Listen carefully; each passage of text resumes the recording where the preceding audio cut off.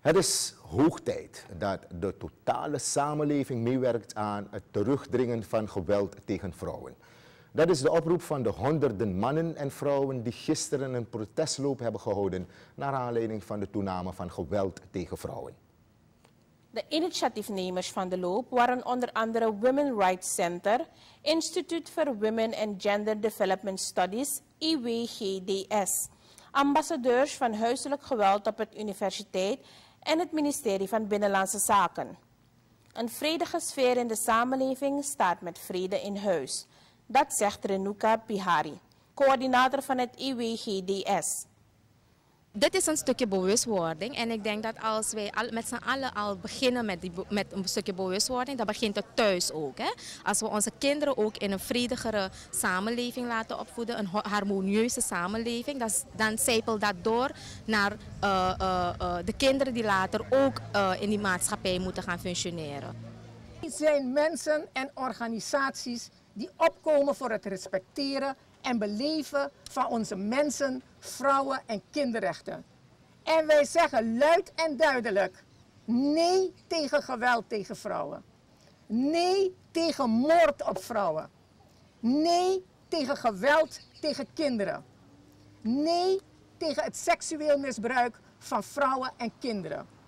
Nee tegen het, het gebrek aan respect voor vrouwen en kinderen. Het aanhoudend geweld tegen vrouwen en kinderen in ons land, dat zich dagelijks in diverse vormen voordoet in stad en district, moet een halt worden toegeroepen. De VHP, onder leiding van Chandrika Prasad Santoki, deed ook mee aan de loop.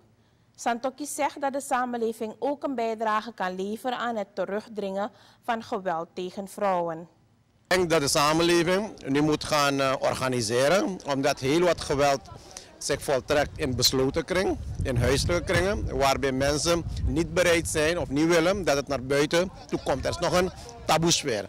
En ik denk dat counseling in de wijkomgeving bijzonder belangrijk kan zijn. Ik denk dat religieuze organisaties een heel belangrijke rol kunnen gaan vervullen, omdat elk gezin een vertrouwenspersoon heeft. In de vorm van een priester, een dominee, een pandit, een molbi dat daar in ieder geval meer geïnvesteerd zal moeten worden. tweede is namelijk dat eh, de buurt sessies moest eh, organiseren in hun eigen wijk om eh, dit vraagstuk te bespreken.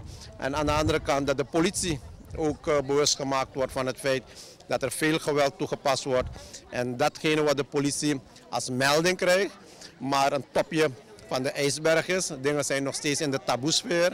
En wij moeten inderdaad ervoor zorg dragen dat het uit de taboesfeer komt. Maar meer nog, dat vanuit de politie een coördinerende rol vervuld wordt naar sociaal-maatschappelijke organisaties, naar uh, doktoren, naar uh, psychologen, naar gedragsdeskundigen, dat die organisaties tijdig kunnen inspelen, want het strafrechtelijk optreden helpt niet altijd.